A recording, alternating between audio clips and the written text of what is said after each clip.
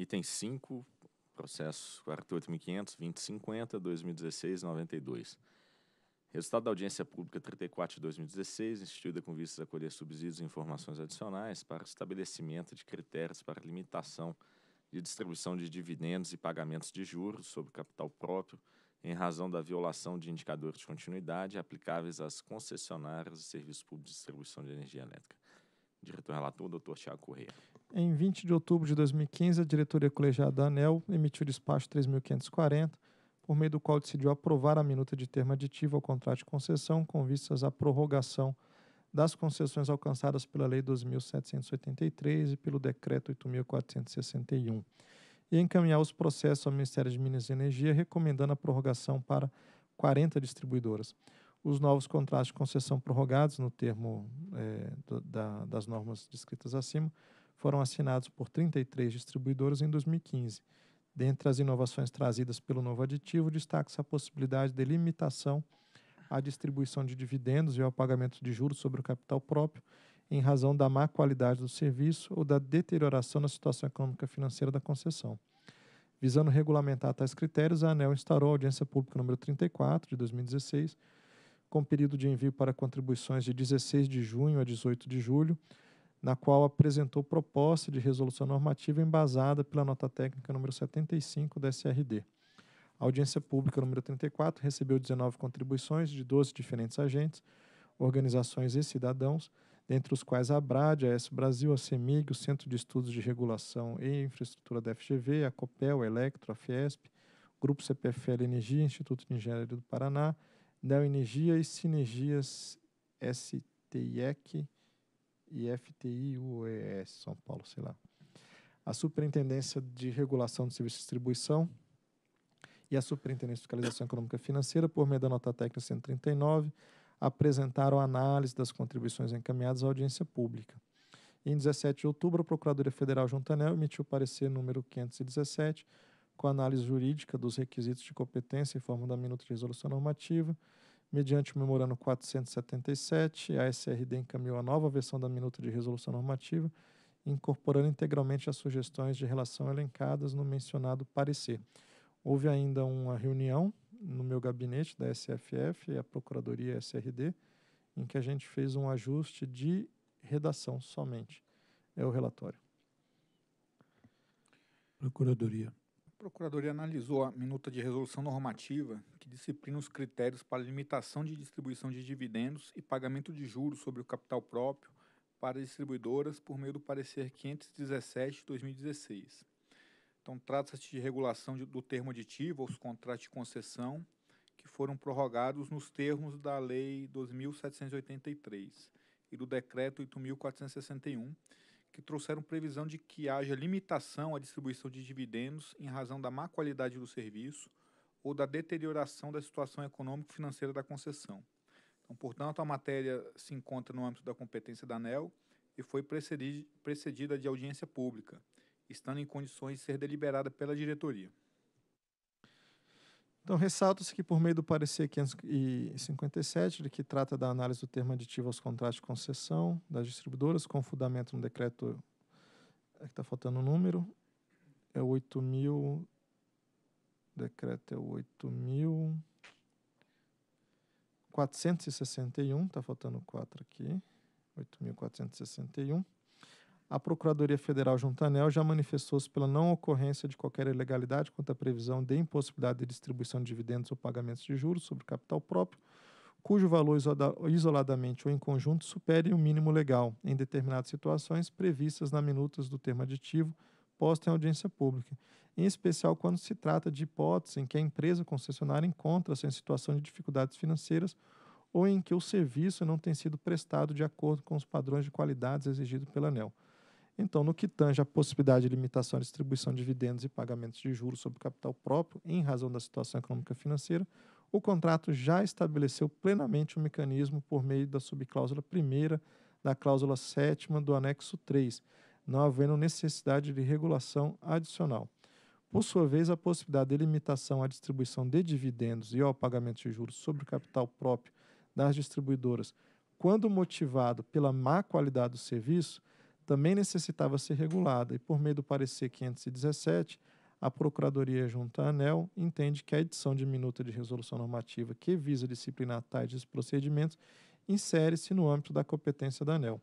Os novos contratos estabelecem na cláusula oitava da cláusula segunda o seguinte: o descumprimento de limites anuais globais de indicadores de continuidade coletivos por dois anos consecutivos ou por três vezes em cinco anos poderá, conforme regulação da ANEL, implicar a limitação da distribuição de dividendos ou pagamento de juros sobre capital próprio até que os parâmetros regulatórios sejam restaurados, observado o inciso 1 da subcláusula 1 da cláusula 7. E o parágrafo único, nos últimos cinco anos do contrato, visando assegurar a adequada prestação de serviço pela distribuidora, o disposto nessa sobrecláusula se aplicará no caso de qualquer descumprimento dos limites anuais globais de indicadores de continuidade coletivos. Uma vez que o contrato já estabeleceu a quantidade de violações para que o dispositivo seja aplicado, dois anos consecutivos ou três vezes em cinco anos, ou qualquer descumprimento lá no final da concessão, resta à regulação da ANEL apenas a definição do indicador de continuidade coletiva a ser utilizado e do procedimento para operacionalização do mecanismo de restrição. A minuta de resolução disponibilizada para a audiência pública propôs como indicadores a serem adotados os tradicionais DECFEC anuais globais, calculados a partir dos indicadores de DECFEC estabelecidos nas revisões tarifárias periódicas para os conjuntos de unidades consumidoras das distribuidoras. Também foi proposto que a violação de qualquer um desses indicadores já caracteriza o descumprimento do critério de qualidade de serviço, podendo levar a distribuidora à condição de restrição em caso de reincidência. Então não precisa ser só DEC ou só FEC, qualquer um. Precisa ser os dois, né? A proposta também contemplou os prazos para aplicação do mecanismo de restrição, iniciando-se em 1 de janeiro do ano civil subsequente à violação dos indicadores e encerrando-se na data do envio dos indicadores de continuidade relativos ao ano civil, para o qual a distribuidora deixou de se enquadrar no critério de restrição. Por fim, foi proposta uma sanção para a distribuidora que descumprir a restrição, distribuindo proventos acima do limite, qual seja a obrigação de repor em caixa os valores pagos indevidamente corrigidos no prazo de 180 dias, sem prejuízo de eventuais penalidades aplicáveis pela fiscalização da ANEL nos termos da Resolução 63. Dentre as contribuições da audiência pública, 18 contribuições não foram aceitas ou não aplicáveis, e uma contribuição foi parcialmente aceita, destacando-se como relevantes a utilização dos indicadores internos de DEC-FEC, ao invés dos indicadores de DEC-FEC para parâmetros de critério de restrição, a especificação de que os mecanismos será avaliado a partir do ano civil após a assinatura do contrato e a não obrigação da devolução de valores de proventos pagos indevidamente por ser operacionalmente complexo e poder diluir os minoritários de forma involuntária. Quanto ao estabelecimento dos indicadores internos para efeitos de avaliação de restrição e distribuição, os agentes alegam que a utilização dos indicadores tradicionais, que contêm em sua forma interrupções de suprimento, é prejudicial à distribuidora. As contribuições alegam que as interrupções para as quais as distribuidoras não têm qualquer gestão podem ocasionar a violação dos indicadores, levando à condição de restrição. Em resposta à contribuição, a SRD esclareceu que os indicadores de DECFEC tradicional possuem também em seus limites parcela destinada às interrupções de suprimento, ou seja, a ANEL leva em conta o histórico do suprimento da distribuidora para o estabelecimento dos limites futuros. Com isso, empresas que possuem histórico de suprimento deficiente têm seus limites majorados em relação a empresa semelhante que não possui o mesmo problema. A ANEL, inclusive, em razão da piora do suprimento de algumas distribuidoras, já promoveu a revisão extraordinária de limites de DEC e FEC no meio do ciclo tarifário para contemplar situações excepcionais. Eu, inclusive, relatei um destes casos, ou até dois, dois destes casos. Também se destaca que o mecanismo contratual já estabeleceu que a restrição só é aplicada em caso de reincidência nos descumprimentos dos limites. O poder concedente ANELS, ao proporem assim no contrato, já visavam minimizar os efeitos de eventuais situações atípicas dos indicadores. As notas tec, a nota técnica 75, o SRD já havia abordado a questão da reincidência, afirmando ser pouco provável que a distribuidora tenha seus limites violados em dois anos consecutivos ou em três anos alternados em razão de problemas de suprimento, o que foi contestado em algumas contribuições encaminhadas. Com vistas a comprovar tal argumento, a SRD realizou uma simulação para 63 concessionários de distribuição, aplicou-se o critério de restrição proposto ao histórico de indicadores de DEC e FEC das distribuidoras no período de 10 a 15, visando verificar em quantos casos haveria indicadores externos em valores relevantes, adotou-se o critério da metodologia da definição de limites, quais sejam DEC externo superior a 9% do limite e FEC externo superior a 15% do limite. Além disso, buscou-se a quantidade de situações nas quais esses indicadores externos relevantes seriam determinantes para a violação, ou seja, situações nas quais a violação não ocorreria sem os indicadores externos.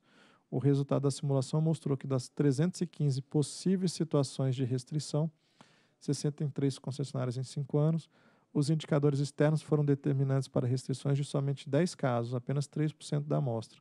A SRD ainda salientou que esses 10 casos ocorreriam em distribuidoras de pequeno porte ou em distribuidoras que possuem sistemas isolados, naturalmente mais sujeitas a excepcionalidades do suprimento. Assim, verifica que se tratam de fatos de casos excepcionais e que podem ser tratados eventualmente no caso concreto.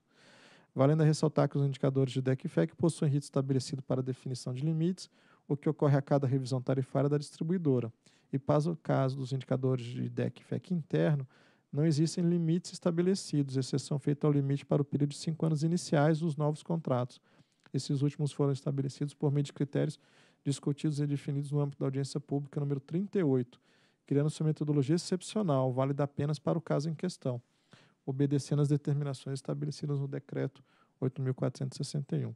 Assim, para que fossem utilizados limites internos como critério para a limitação e distribuição de proventos, seria necessário estabelecer primeiro uma metodologia própria em regulamento para definição desses limites, o que não se justificaria apenas para tratar eventuais situações excepcionais, as quais podem ter tratamento extraordinário pela ANEL caso ocorram. Deste modo, os indicadores tradicionais devem ser mantidos como parâmetros para aplicação do critério de restrição de proventos. Quanto à avaliação do mecanismo a partir do ano civil após a assinatura do contrato, entende-se que é pertinente esclarecer que o dispositivo passa a valer a partir do ano civil subsequente à assinatura da prorrogação contratual. Como o dispositivo avalia sempre a janela de cinco anos, deve determinar que para distribuidores que assinaram o contrato em 2015, a primeira janela se iniciará no ano de 2016. Desse modo, acatou-se a contribuição apresentada, modificando-se o texto do artigo 2 para contemplar esse esclarecimento. Quanto ao terceiro aspecto, a SRD e a SFF avaliaram que o fato de ser operacionalmente complexo e poder diluir minoritários não é justificativa para que a distribuidora não reponha os valores pagos, dado que a distribuição indevida é de sua responsabilidade. Além disso, ressaltaram que existem mecanismos estabelecidos na legislação societária para que tal reposição seja realizada. Por exemplo, um aporte de capital com emissões de ações simultâneas deve ser precedido de Assembleia Geral ordinária ou extraordinária de modo que seja concedido inclusive o direito de retirada aos minoritários contrários.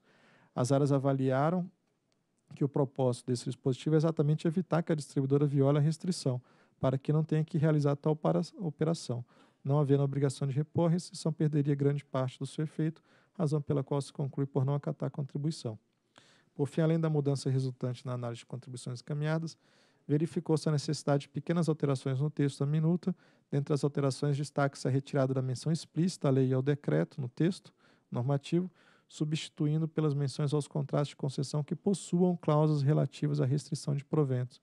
Tal alteração visa deixar o regulamento mais geral, estabelecendo as distribuidoras que venham assinar termos aditivos contendo cláusulas de restrição de proventos, como é o caso de alguns pedidos que tem na ANEL, né? por qualquer razão passem a obedecer ao regulamento de forma automática. E também, conforme sugerido pela SFF, destaca-se também a inclusão na minuta de resolução normativa de um artigo, conforme transcrição a seguir, uma vez que para os contratos de concessão com cláusula de restrição, a apuração da distribuição de dividendos e de pagamentos de juros sobre capital próprio será realizada prioritariamente a partir da demonstração do fluxo de caixa, o qual apresenta o valor efetivamente pago aos acionistas.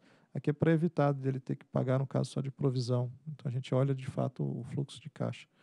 Entretanto, caso não tenha ocorrido a abertura a contento ou caso os valores não sejam consistentes, outros meios poderão ser utilizados, tais como deliberação da AGE, informes de comissão mobiliária, informes na Bolsa de Valores, entre outros.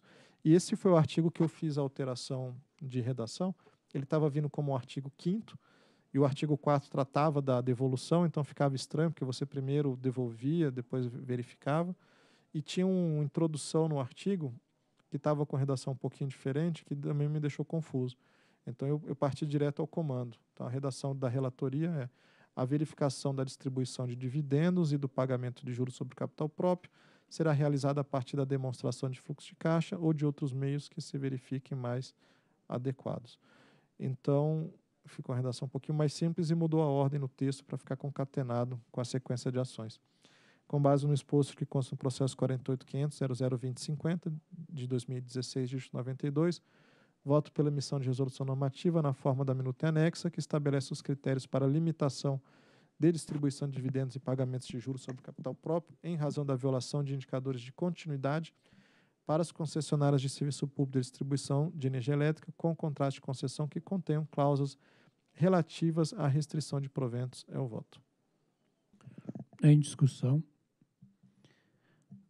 É, primeiro, eu queria é, registrar do, do, do, meu modo de ver do, do avanço que tem havido tanto num regulamento que já antecedeu parte relacionada, contato com parte relacionada, depois com a renovação das concessões de distribuição que inserimos no, no modelo de contrato de concessão e agora com a regulamentação de um estímulo à melhoria da governança. Essa questão da restrição à distribuição de dividendo acima do mínimo, que é claro tem um mínimo legal que é, é assegurado, mas acima do mínimo, eu acho que é numa direção de conciliar bem esse tipo de atividade do segmento de distribuição, que é um serviço público, tem um, um volume de investimento que tem que ser feito, tem uma qualidade que tem que ser atendida, e sabidamente a gente sabe que algumas empresas têm uma, um foco, vamos dizer assim, mais forte na questão,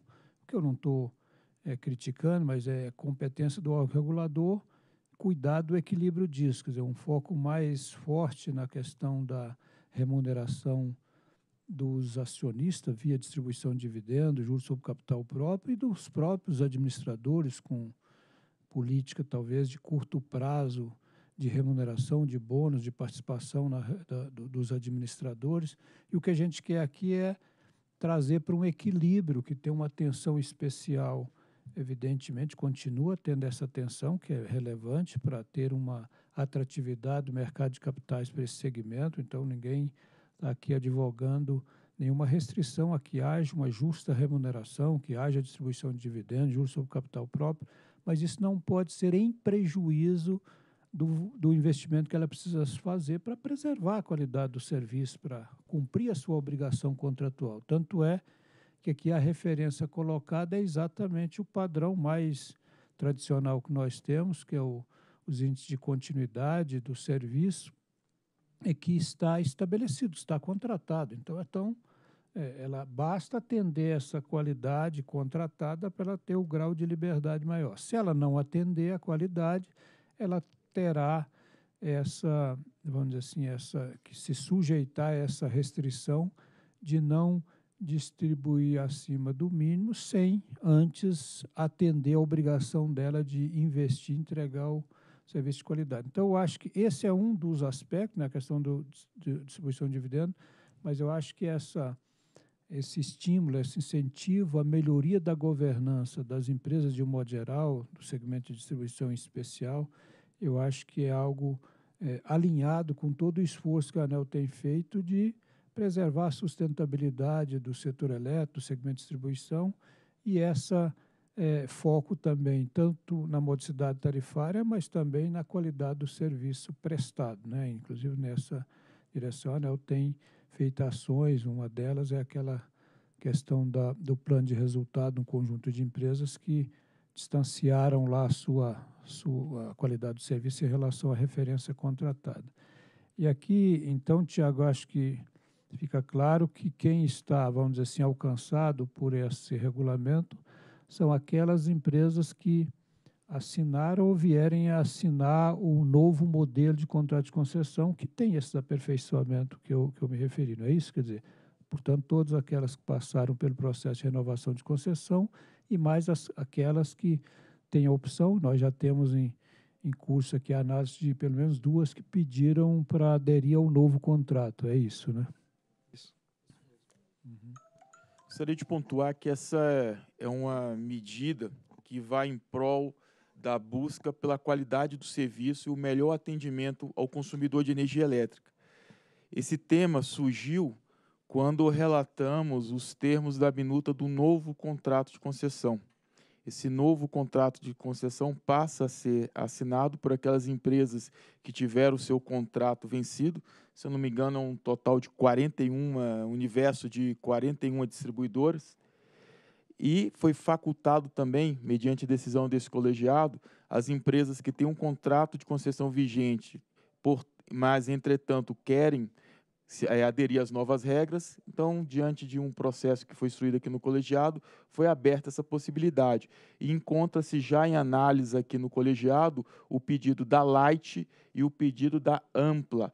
Ambas as distribuidoras, em que pesem ter o contrato de concessão em vigência, solicitaram adesão ao novo contrato. O novo contrato é um instrumento muito mais sólido, ele garante o total repasse da parcela A, entretanto, ele é muito mais duro nas exigências e no compromisso com a qualidade do serviço. Tem uma trajetória de cinco anos para que se a empresa não, não observar a qualidade de, do serviço no que diz respeito a aspectos técnicos, como DEC-FEC, a indicadores econômicos financeiros, pode, inclusive, levar à, caducidade da concessão. Então, naquele momento, uma da, das grandes novidades que inserimos na, no novo contrato foi justamente essa, a, a questão da distribuição dos lucros né, e, e dividendos e juros sobre o capital próprio para o acionista. Isso, isso deve ocorrer, mas deve ocorrer desde que haja qualidade para o consumidor. Se o serviço não está sendo prestado com qualidade, ou seja, com a grande frequência de interrupção e a duração da interrupção está alta, esse recurso não deveria ser repassado e sim investido na concessão em busca de assegurar a qualidade. Então, naquele momento, a gente estabeleceu a regra e agora apresentamos, então, a regulamentação dessa regra que passa a ter eficácia e, de novo, registro. Esse é um avanço, é um instrumento regulatório que vai em prol da qualidade do serviço, garante a, ao consumidor de energia a qualidade do serviço, que essa é a maior preocupação que temos.